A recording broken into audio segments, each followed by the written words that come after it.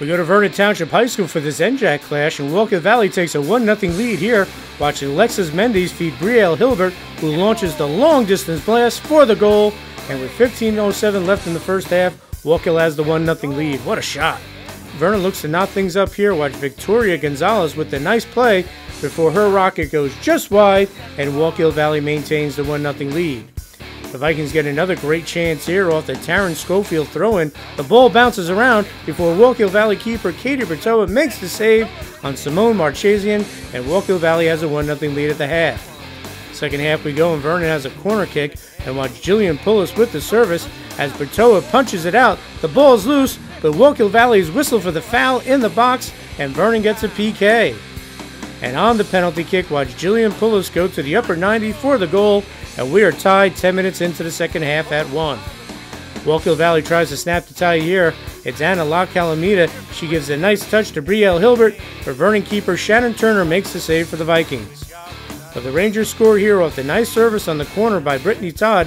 It's Brielle Hilbert with the one-timer, and Wallkill Valley has a 2-1 lead with just under 14 minutes left in the second half.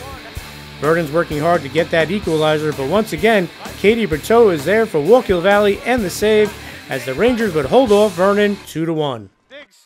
We played really hard and we gave up a little bit, but that goal should never happen. I'm so thankful my defender was there because it would have gone in regardless. But I played with her and she is a really good player and I'm so glad we shut her down. She has so much good so many good moves. The whole team did good from the back to the forward. We did good passing, and we, it was good to finish off the corner kicks, and it was a great job overall for everyone. It felt great. We uh, played with our hearts out, and we just did good passing and good finishing. It felt really good. We were like pumped to get started at this game, and we just kept at it, and we all worked together, and we gave it our all, and it felt really good to win. Wallkill Valley beat Delaware Valley two to one in the Hunterdon Warren Sussex tournament, giving them a tremendous amount of confidence as they will play Warren Hills. And this team only has three seniors, so they're ready to go. Beaten Del Val, and they are a really big school with many players that could like tried out, and we played like the best of them.